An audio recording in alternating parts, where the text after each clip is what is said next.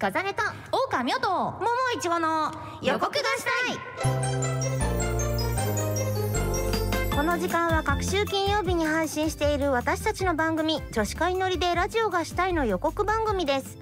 面白いところだけピックアップした切り抜き動画になっているかもしれません。これおおえー、まあそれですか興味持ってもらったら、うん予告のフルを聞いてもらってとか。そうそうそう。でまたプレミアムに入ってもらってうんって、おおそうなんだ。っていう感じになってあじゃあもう爪痕残さなきゃ。爪痕は確実になるってことなんですよね。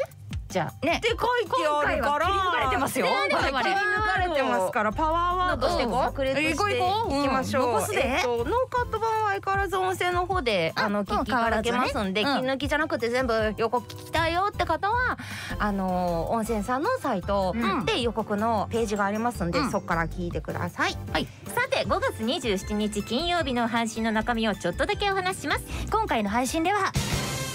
へえ。かわいいね出ちゃう。です。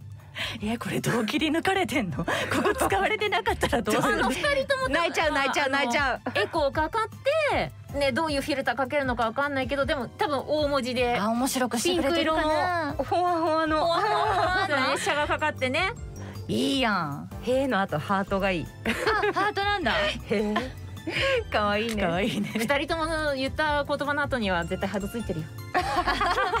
頼みます。毛がすごいんだ。また毛かよ。毛なんだよ。えど毛はどうですか？やだ。え？え？あのねでもね無は嫌なの。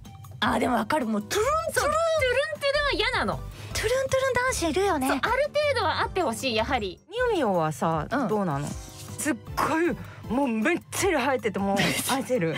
まあでも別に脇ぐらいだったら全然愛せるんじゃないかな。胸毛は愛していく方向で生きていこうとは思ってる。なるほど、うん。脱毛もしなくていい。脱毛まあ限度やな限度。私はうん。もう愛します、でしょうね。いやそ源れはそうだ。次郎ちゃんの毛一本一本すそうべてをだろうなと思ってたよ。愛します番組が聞きたくなったあなたは温泉プレミアムで配信中の女子会乗りでラジオがしたいをチェックしてください。